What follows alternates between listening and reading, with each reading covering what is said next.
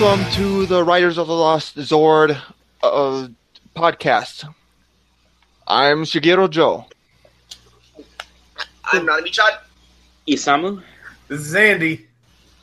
And today we're talking about we're going to be talking about Kamen Rider Kiva. Keep with the Halloween spirit because that is as of this recording Sunday 4 days away. Ugh. And we're only going to be talking about the first about 10 episodes of Kiva, given that it's a full 50 episode series and we don't always have 48. the time. You know what I mean? We Yeah. don't always have the time to binge it as soon as we can. Right. That's like what uh, 3 days out of our day out of our busy busy life week. Mm-hmm. But Kiva, to me, starts out off as one of the most weakest and most pathetic writers. Oh yeah, that that's what turned me off about this character. He was the wimpiest guy ever. I can't Like- breathe the air, or else I'll explode. Shinji Ikari would tell him to nut the fuck up. Um, and you know that's true. yeah, But in those, even in those first few episodes, he gets some good development. In, yeah, he just needs some some outward, an outward push from other he people. swift kicking ass. That too. Um, in these first few episodes, we really get it, it's mostly getting introduced to the world of Kiva and how things work. We get introduced to the opponents for this series, the Fangire, which are stained glass motif vampire animal things that are also people that are immortal, like they can die and come back. And they, instead of white walking up and sucking people's blood, they summon fangs out of nowhere to suck the color out of people and leave them transparent husks wearing clothes because Japan. And Right. one of the most interesting things about Kiva, and what personally to me makes it one of the better series, we not only have the story of Kamen Rider Kiva, we have the story of his father being played out at the same time in 1986 Yes. and, and it, it, the show jumps between these 1986 segments and 2008 constantly and at first it is jarring and hard to understand It's quite disorienting. but after about five episodes you really start to understand it and as early as episode one you see parallels happening between the past and the present happening at the same rate now these parallels are just coincidence but it builds on the theme of the immortality of the Fangire and the actions of the past deeply affecting the present. Like uh, in the first episode, that the spider fangire uh, rips, uh, tear, uh, scratches the door. The one wooden door. And And, then- oh, that's that spider Fangire just he he he is a hardy mother. Uh, Shoot, shoot. uh, I I honestly love the his design so much. Yeah. Like as the first monster that you see in a series, it's supposed to make a big impact Yes. on how it's supposed to on how you're supposed to pursue the rest of the series. And And- I feel like this Spider Fangire does the perfect job of doing that. Aside from the fact that all the Fangire look amazing, if the heavy black tones and the stained glass designs on them, especially with their eyes, and how within the eyes you can see a reflection of the their like human disguise. It's Yeah. it's just wonderful design choices. it, it kind of reminds me of the Orphnoch from Faiz. I actually have not The what? The what now? Orphnoch. They're the they're the monsters of Faiz. Pretty much, they would they, um they show up, and their human disguise would show up in their shadow on the Oh. wall or something. That sounds interesting. Well, you know, limited stuff. You couldn't you really couldn't have, uh, technical stuff that I don't really know how to explain. Oh, I know a lot of crazy stuff happens in Faiz with the Orphnoch. Especially that done there horse Orphnoch. Right, but let's try to keep this to Kiva. Yeah, I know. So Kiva, he's kind of like I don't know. Would you call him Van Helsing of Kamen Rider? Hmm. If I mean- we're gonna go with a monster movie or at least paranormal thing, I would call him the Castlevania style Alu, a vampire that Yeah. fights other vamp- Oh, yeah, that makes a better better parallel. That that's that's more like his his uh, secondary writer Ixa. Oh, dick face. I love Ixa's suit so much. Oh yeah, it's it's the entire thing of a shining knight. It's very Literally. sexy. Like, I, I love Ixa so much. I get frustrated with him just because the things he does is so good, but they're so annoying. Especially when he up in Jax Kiva's Garuru saber. Once. Oh yeah. He only does that once throughout the entire series and never does it again. I, I, I think there's a reason he did it because he scares the piss out of Wataru. It's like, hey, that's mine. Well, it's mine now, so you're gonna have to deal with it. And uh, we should talk about like Wataru and the forms that we see in these first few episodes. Like we see him his transformation to Kiva, which is obviously vampire bat themed and is just a beautiful rider suit. I know it. This is what I. And with uh, interesting that you don't really see with many other riders, with uh, one of the legs being different than the other. Yes, the um, asymmetrical leg design, which is the reason that they stopped using his basic suit come the end of it, because that chain on his leg was an actual iron chain and it was too heavy for the suit actor.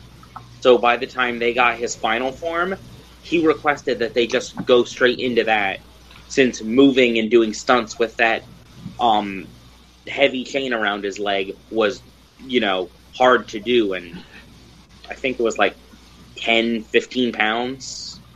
Yeah, I mean, and when Kiva's fighting style is agility based, that's going. It- that's really kind of hard to keep up with. only with. very agility and light footwork, it's a lot of grapples and throws and low to the ground. It's animalistic. Oh, I definitely agree with that. Especially depending on which form he's on is in two is more. Yeah.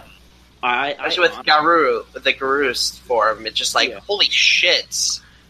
He, he's practically a wolf man. that when Wataru transforms into Kiva, it is his Fangire side taking hold and fury and fighting like a feral animal. That's why you, you don't often hear Wataru speaking in Kiva form. He does, but it's very, it, especially early on, it rarely happens. And then when he uses the arms, the person who has who is that monster goes into him and I kind of think takes over to a degree. Yeah, I can kind of see it. And uh, the first one we see is like episode four or five is Garuru Saber. Four. Okay, I got the It's- wiki up, so I'm helping. a amazing I, I do too. like one-handed um, single-edged sword, and it is an um, I, I love the fighting style with it. Again, it's down low. It's very quick, broad, sweeping strokes. And whenever it hits something, it, spar- it makes sparkle sounds. And he, uh, his finisher, he he uh, bite, bites the sword with his belt. Uh, yeah, yeah. And he puts So it in his mouth, and then just kicks them and slashes them at the same time. Like it's really cool, but it's really dumb. But But that- nothing, nothing is as cool as Kiva's original writer. Yeah, it's, Just it's a, the whole Kiva taking off the chain and the whole wings sprouting out of it. And getting an eclipse in the middle of the day and a giant bloody red moon. yeah, and nobody else questions this. It's like, I- why is this all of a sudden say- nighttime? Do Eh, you think some dude is in his apartment waking up and he sees it turn nighttime? He's like, oh, nope, never mind, go back to bed. most Or likely it's guy having lunch with his girlfriend, like, what the fuck is going on? most most likely it's just like a radial thing. It probably is like maybe twenty meters. Anything in twenty meter range only sees that. So like Kiva is one of the more quote unquote magical writers, so he can kind of do what he wants, and you know, reality and rules can take a backseat to it. Um, I know we see Basha Magnum near the end of the first ten episodes, right? Was it nine? It is uh, um, Uh, episode six. Oh, I'm off. Yeah, Two episodes after Garururu. Oh, Garuru. I can't. say what- Yaru! Th- Think of Gabumon's ev- Digivolution, Garurumon. Yeah, I mean, it Oh, even, there's an L in it even looks like it, except Yeah. for the horn. Well, I, I think that's based on Japanese Wolf or something, because it comes up too often in Yeah. uh, shows like this. But uh, Basha Magnum is it's the um, creature, of, the, Black, Lagoon. yeah. not a merman. What they- No. Some people say that's hand in hand, but they're very different things. And this is a very, very quick um uh form that looks like it doesn't even move. He just glides along the top of the grass that he's on like he's dancing on top of water while shooting little bubbles out of his gun. And he pretty much becomes the sprinkler too. Yeah. Like I personally think Basha Magnum is the weakest out of the monster arms, but that's just because it's the gun one, and I like to see him getting up and hitting things. Uh, hitting things is fun. I also, I really love the dog the Doga hammer. And that happens a little bit later, unfortunately. Fourteen. Yeah. And Episode the, fourteen. The, the, monster for Doga. That guy is so funny. Uh, but the I, um, I really love Otoya-san. Otoya Otoya might be the best part about Kiva for the first thirty plus episodes. And this isn't to knock Wataru. It's just Otoya's fun. Right, right, he's dead. Yeah, he, he he doesn't really he doesn't really have a care in the world. All he wants to do is just play music, really beautifully, by the way. Oh yeah. I still cannot tell if that's them who's learned how to play that one piece of music, or it's them pretending like they're playing it and they just added an ADR in post. It looks pretty Uh. realistic as someone who actually has played a string instrument. I either way, it's great acting on their part or oh yeah.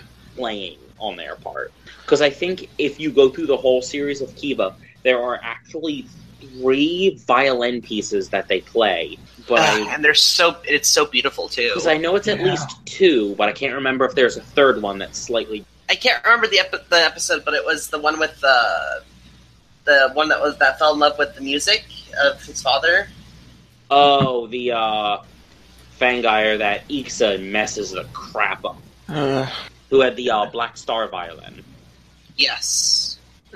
and by the way, the the the way that that Kiva senses out these other Fangire is the is his violin in this case that may belong to his dad. They, uh, they pretty much confirm that his Yeah. dad made.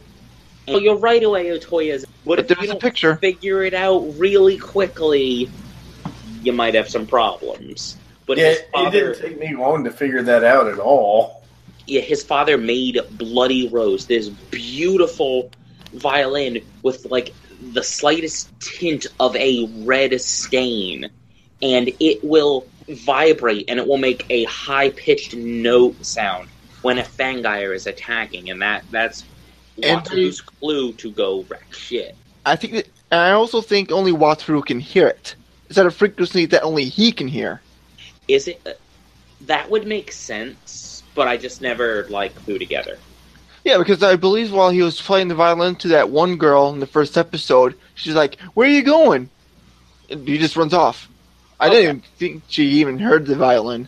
That that would make sense given stuff about Wataru.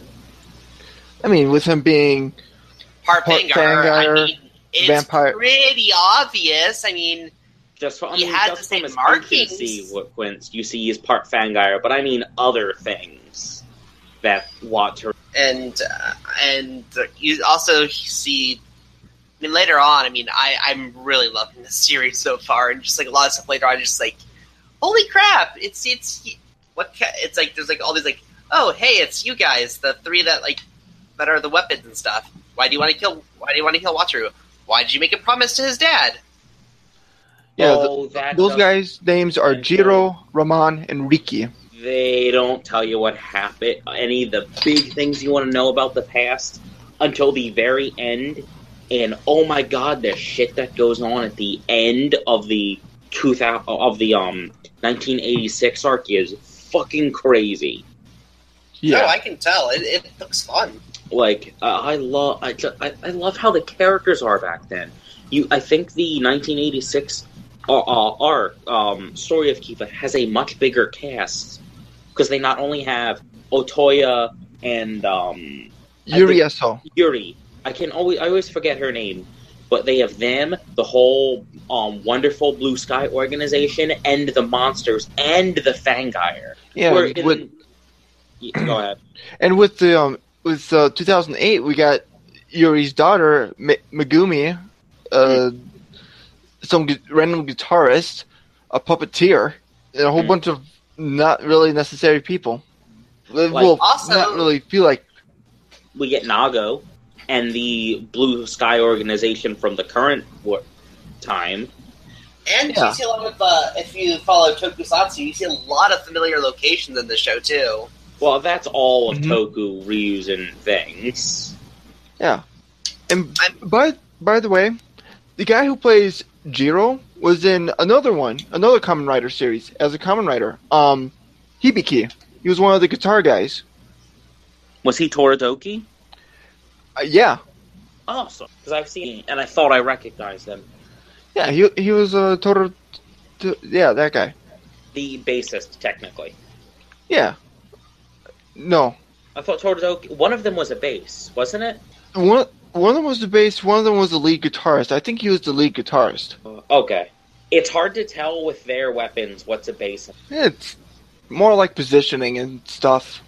All right, but um, I, I do like how they characterize the um other um monsters. Like Jiro is very wolf-like. He's he's a That's- lone wolf. That's, that, yeah, Kinda. that's the easiest way to describe it. The dude He's not- is a wolf He's very hunterish. And concerned with getting his prey, and extremely cunning. And then you have you have Ramon, the creature of the Black Lagoon. Uh, cute, nah nah, Trap. nah nah, and um, it's a trap. Yeah, oh, it's and uh, Riki, the Doga guy, who's just the the double entendres that come out of his mouth. At, at one point, you have to ask if he really knows what he's saying, and he's doing it on purpose, or he's just that stupid. You can't tell, but I think you only get a little bit of him before the first part of Kiva really ends. yeah, Uh, and you, I mean, there's a lot of good things about Kiva that I like. That I like in these first ten episodes. I mean, it is a little slow paced. it, it's got a slow start, especially within those first three to four episodes. If you don't hate the series by the end of the first ten, you love it. I mean, it's so like, it's so like kind of meh, and then it's just like, oh my gosh, it like it got good. Well, that's what happens when you introduce a good rival writer, Uh, and the whole Ixa- aspect of the Ixa stuff in the past is completely different. Yeah, uh, and I, I absolutely love when a girl. writer belt can be used by anybody. yes.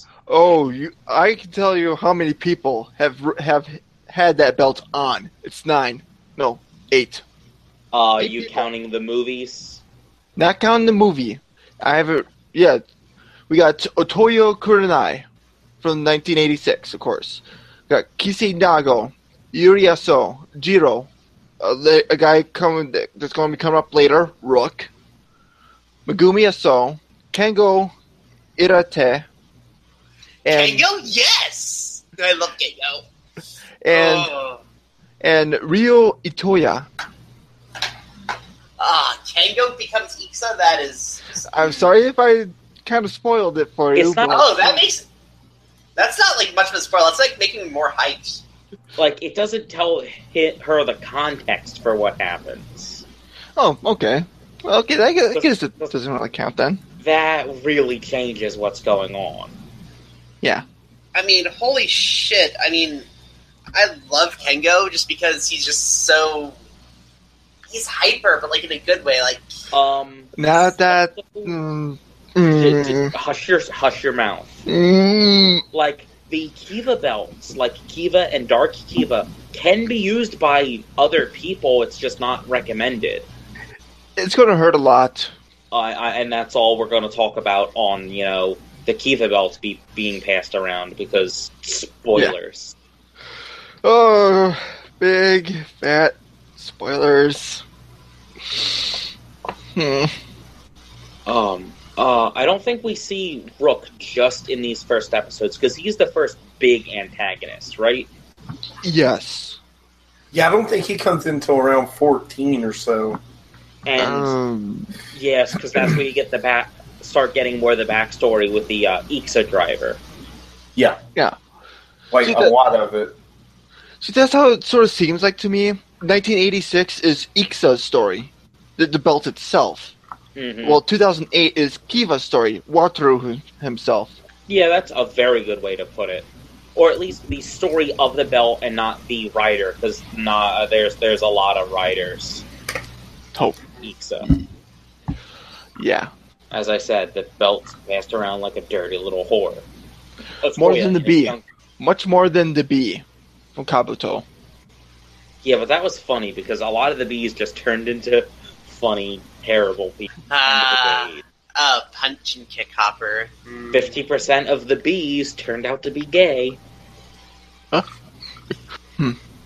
Um, I'm trying to think of other things that we can really cover for this first chunk of Kiva, because this is mostly just introduction and world building, Yeah. and they they they just expand more on the world building later because they don't want to tell you everything. Ooh, I want to go kind of more in detail on this rider kick just for a few seconds. It's- just like it's- how it's it's fucking like it.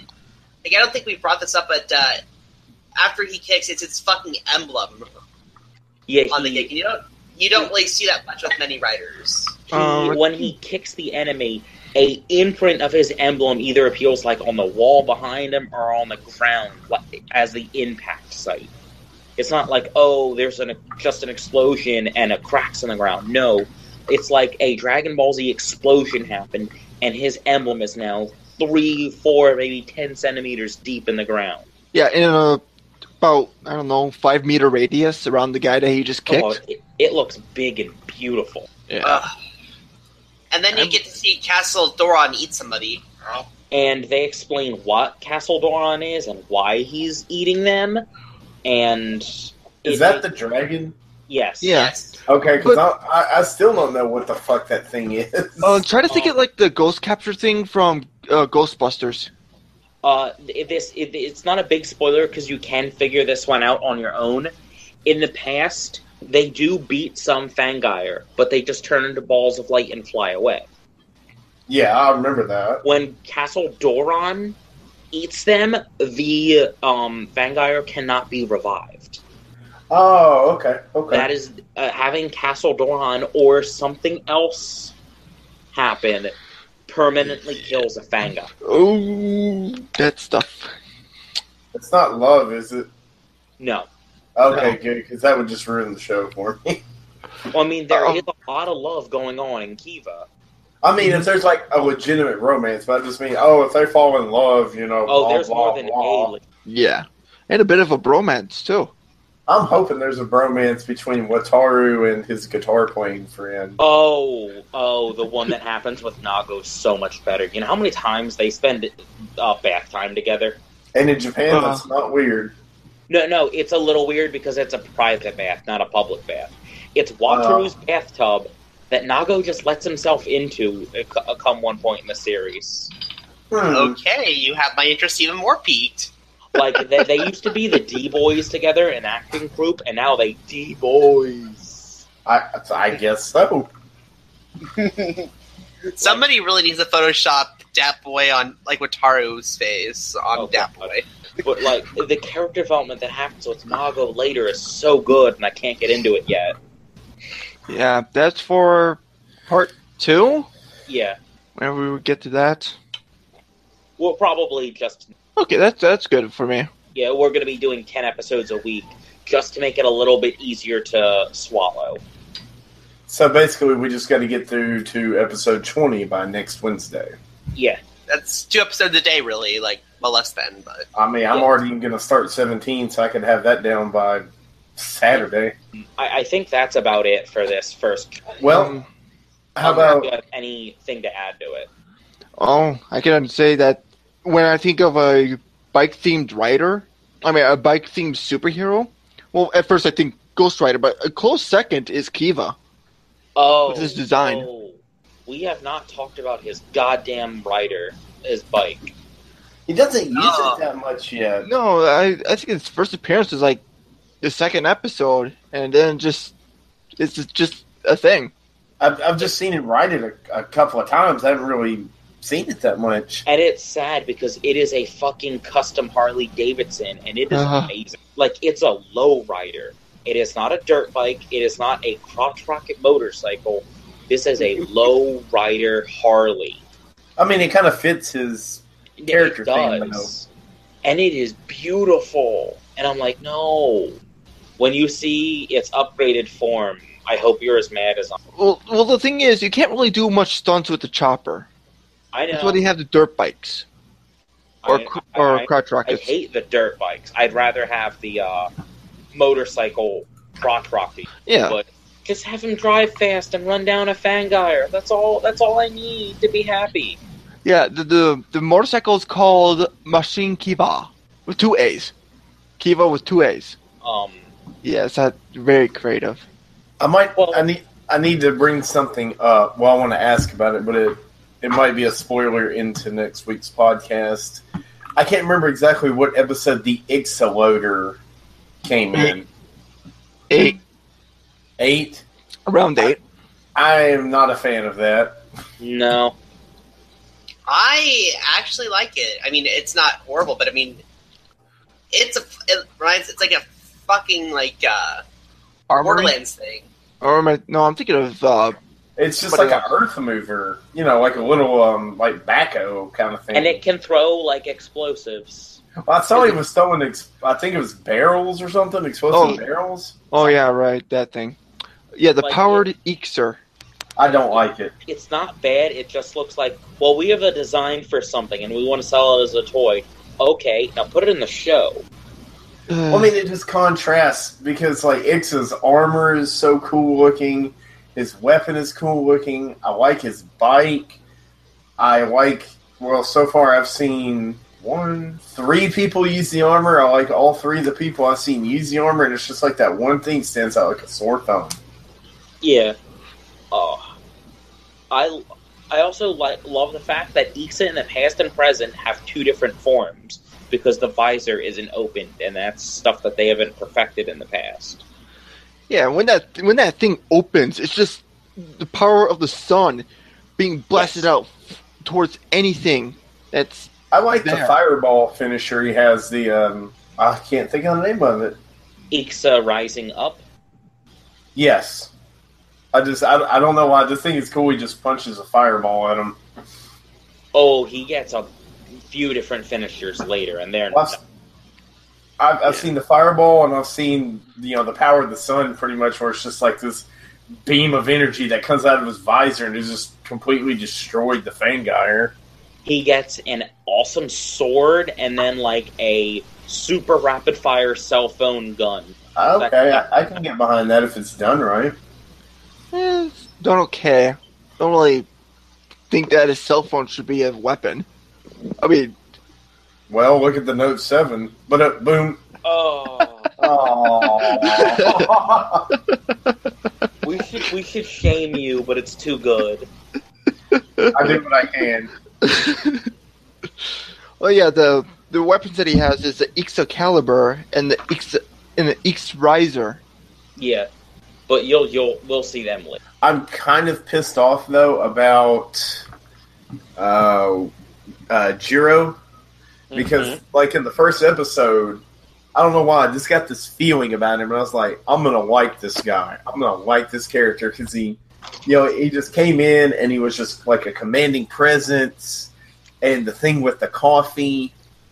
and then you find out he can turn into a wolf, and he goes and fights that one Fang guy and just like wrestles the fuck out of him, and off screen, I'm Because guessing he's alpha. But then he's he's a he's either a bad guy or an anti-hero, and I'm just like motherfucker, because I just I was like this this is gonna be the guy, and Um, I don't know, it just it He's just closer to an anti-hero than anything. I'm not going to give away anything, but he he's not bad. And I mean I'm- bad as in alignment. He, I'm trying to figure out. I'm sorry, go ahead. Everything that happens with Jiro is done exceptionally well, and he has a very good character arc with accepting the state of his species and understanding what he needs to do to help others.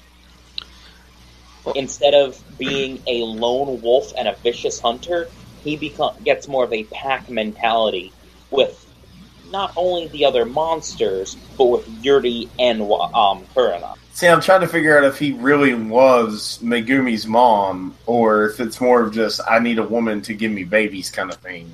Because it's like right on the fence right now. Because I could see him actually caring about her, but I could also see him just wanting to repopulate his species. He. I'm not going to tell you if he actually loves her or not. I can say he does actually deeply care about her come later the series. I can kind of get that. I mean, this is after episode 10, and we'll touch more on this obviously next week. But he does just go up to Wataru later and just say, hey, we need to team up to take this guy down because he's going to hurt her. And they just drop everything they're doing. They're like, okay, let's go kick his ass. yes. So I can tell he at least cares about her somewhat. Mhm. I also like how the villains, like even just the monster of the week Fangires, actually have more of a fleshed out motive. And, you know, like the one that's standing out in my head. What's that? Like a method to their madness. Yeah, like like just one that's standing out. Um, it was in the last. Well, let me go back a little bit. Um, there was the the one that had like the little sock puppets, and he kept wanting to find a wife. Oh, God. and yeah. yeah, in '86 and 2008, and you know, next I can talk more about this next week. I'll just say I like the fact that they do have more than a singular reason for doing what they're doing, and I haven't seen that in They- a lot of other shows. There is more of a reason that they're doing this that you will get to see more of later. But it's a, a large part of it is their compulsions on their person and on their Fangire side, driving them to do this. Like to bring up the Fa- uh, Fangire that fell in love with Otoya's music. The reason that he eventually has to die is because he cannot stand loud, distracting music that isn't beautiful. That got me right in the feels too. and like he, he's a good person but he throws a fit and starts attacking people because he can't stand their rock music and it's not like he's a weak dude he can kill all of those people if he loses it hard enough and some fangire embrace this and just and become creepy stalkers grooming their secretaries to be their next meal and some fight Mhm. against it they, they, they try and give a level of complexity to the fangire that they did not need and it was not necessary, but it was wholly. It was better for the show, and it made everything deeper. It made them more understanding as antagonists and as people. And the ones that weren't completely evil, it put an impact to their deaths. Well said. Well, from what uh, Isamu has said, it does have have it has put the show into a better light for me. For me, at best, this is kind of mediocre for me because, well, the thing is, I actually do like to have some ma- not not necessarily major comedy, but some some laughs there. You know, in some of these tokusatsu because remember these are people fighting in spandex. Yes. I mean, and this is me coming right off of Den O, the, the first ever they've ever seen. I can't. I hate Den-O. I mean, Den-O, Den, I think Den-O was just too much comedy. And then Kiva, I will admit, it is a lot more drama and action focused. There's not that many jokes. well, the one thing that got that got that did get me laughing a little bit, but I don't think it came up yet. It was the bath scene with Jiro and Otoya. Oh, oh god, I know what you're talking about. Yeah, I yeah, think I, I don't think I've seen that yet. Okay, so it's much later than that. hmm A little bit of hype for those people that have not seen it. To the extent of the show, I think some of the bigger jokes in it are, oh, Yuri's afraid of dogs. Oh, the dog just loves Otoya. That's about it. Oh, Jiro's a wolf, so he sniffs them. They're little pun and small little jokes. It's not like someone makes a funny joke and people laugh and it's a lighthearted moment. They're little drips of humor, not big jokes. And that's what makes it harder for some people to get into it because it is a lot more somber. It is a lot more drama focused. Oh, just talking about jokes for a second. I'm actually glad I'm watching the um, TV Nihon download, where Oh. it kind of gives you little captions about you know stuff you may not understand. Then Hmm. I don't know if it was like a very subtle Kinnikuman joke or if it was just in general, and the joke was also in Kinnikuman. When, um, oh, let me find his name. I'm sorry, uh, Kiva's dad. Um, what's- Otoya? When he uses the Ixa armor and he powers down, and like the next episode, they're all wondering why isn't he weak? You know, why didn't it hurt him? And uh, Megumi's mom is talking to the leader of the organization, and she's like, "Well, maybe he's just too stupid to get hurt." and I just, I, I really thought that was funny because like the way he acts and and just that, I just really liked that joke and yeah. yeah, it's kind of the same thing in Kinnikuman. They're like, you know, maybe he's just so strong and so good because he's too stupid to know any better. Honestly, knowing the knowing the people who subbed it for Nihon, they're huge anime fans. They could have taken the original line and made it more of a joke like that. I mean, it worked in in that scene. It was just, it was quite good in an otherwise fairly middle to serious episode, and you know, Mhm. just had that little lighthearted moment. And here's the problem with with what I saw, because I did not see the TV Nihon version. I saw the overtime subs version, Mm. So they're more more literal in their translations. Yes. I, I think with stuff like this, I lean more towards TV Nihon. Personally, I always swing towards them, but I understand the need for overtime, especially with the way Nihon gets sometimes. Uh, the overuse of Japanese words that they think most people should know that not everyone does. Like when you say Orewan Tachi, do you guys have any idea what the fuck I'm talking about? Nope. Or Nope. what? it- Uh, what's that in context? Jesse Orewa Tachi or Isamu Orewa Tachi. I might be saying this wrong. It'd be that would be Isamu and his friend. God damn it! I knew the Tachi part. Yes, Orewa I, I did not. is referring to the person beforehand and the their group of friends. And Nihon uses that. They used it in the Denode subs a lot, and I think they used it in Blade once or twice. And they used like an extra suffix on it in one of the scenes. And I'm like, no, you motherfuckers. Not everyone understands Japanese like that. I don't understand a lot of Japanese, but I understand that from seeing in fan subs a lot and seeing people put like TL notes. Hey, this is a common Japanese phrase, but you don't put that in your sub. Like put like Isamu and his friends, and then put up. Oh, it is commonly said as Orewa Tachi. If you really want to push it that far, that that's the biggest complaint with them, and I hold them to it. You don't push the Japanese language that hard in it, although I, I do like how flowery they are with their text, which it, which they do rewrite things to make it more easily understandable. Like when in Gokaiger, when I was talking to Joe, she says Joe San, and we see it as Joe San, not in other people's that say Mister Joe. That there's an inherent difference between the suffix san and the prefix Mister. Okay. So, Sorry. Personal rant. dude, personal rant by Isamu. Get more. Get used to that, people. It's probably going to happen in the future. Hmm. So, is this all we can say about Kiva as we stand now on ten episodes? I was gonna I say, think for now, I yes, we hit for me almost personally. every. Yeah, I think we we captured the big points of one through ten and glimpses of the future. the eyes of the past. Oh, wait a minute. We forgot somebody to talk about. Kivat Bat the third. Oh, Kivat. Best henshin ever. Like, he's my favorite, like, henshiny thing. He, he I, I love Kivat. He's a So- little shit. I mean, he is a sentient being, right? He's Yes. not just like part of the suit and he can just talk. I mean, he is alive, right? He has his own consciousness. Okay. Because I kind of thought he did, and I was like, well, I mean, he could just be part of Kiva that's just always there. Should I should I be bringing up the other the others? They don't. Th- th- They know the other Kivat exists just through marketing, but they don't. They don't know the context for which the other Kiva exists. Or Yeah, he's, he's got. I would call them siblings. Mm, not Relatives?